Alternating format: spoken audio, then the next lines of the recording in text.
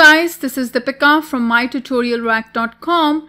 In this tutorial, we will see how to expose a class as a SOAP service. Now, the reason to expose a class as a SOAP service is so that an external system, let's say this is an external system, and uh, using the SOAP service, he can call your Salesforce.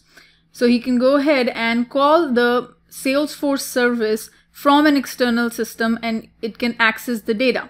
So what are the rules that we need to follow whenever you have to, to expose a class as a SOAP service? So the first thing is you have to define your class as global. So as you can see here in the snapshot, I have created this class and the class is called my soap web service and I'm using this global keyword. So the first rule that you have to follow is any class that you want to expose, you have to use the global keyword, not public. You have to use the global keyword.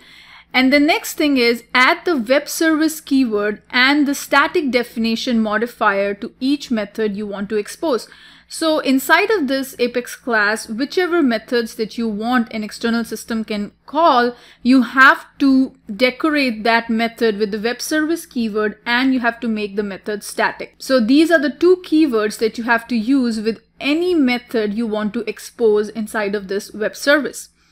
The reason the web service keyword is used so that it provides global access to the method it is added to. So it is basically make this method a global so that systems outside of Salesforce will be able to access this method. This is the rules that you need to follow in order to expose a class as a SOAP service.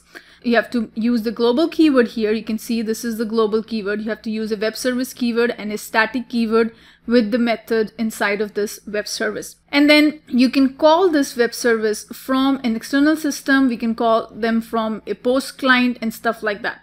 So in the next tutorial, what we're going to do is we will create a custom SOAP service and then we will test that from the postman. So we're going to do that from the postman. I will see you in the next tutorial. Thank you.